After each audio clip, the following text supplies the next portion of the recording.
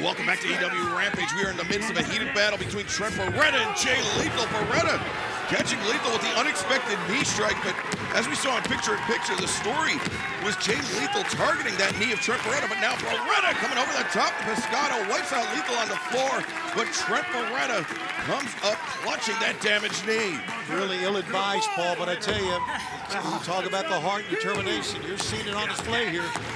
Adrenaline has a lot to do this. When you're in the middle of the fight, most things that would stop you dead in your tracks, you'll push through because you know what's on the line.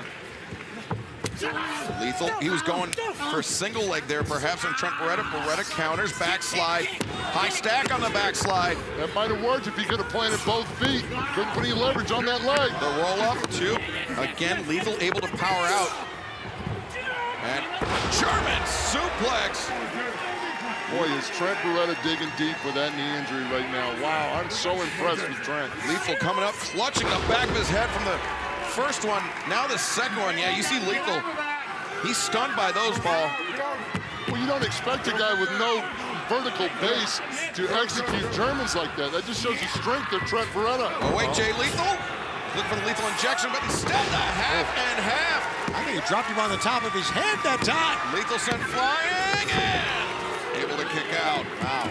That was close. Rick Knox right there. See the shoulders up at the last second. Jeff and Karen Jarrett, Sanjay Dutt, Satnam Singh all trying to urge on Jay Lethal. Meanwhile, Chuck Taylor, the only person in the corner of Trent Beretta here tonight. May have heard uh, Jarrett say, Jay, you got to go, which means you got to win it now. And that means a figure four.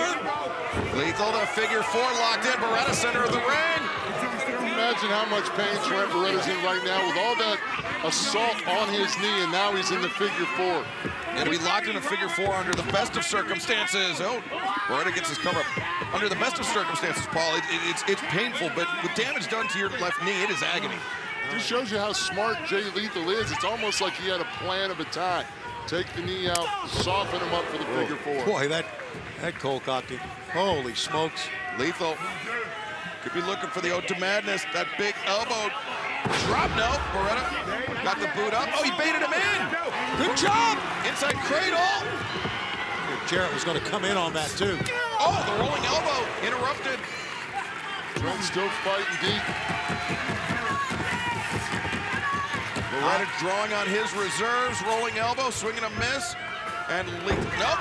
Oh, man, Beretta went down awkwardly. God, crumbles after the kick to the back of the knee. Here comes. Lethal injection. Jay covers two and three. The winner of this match, Jay Lethal.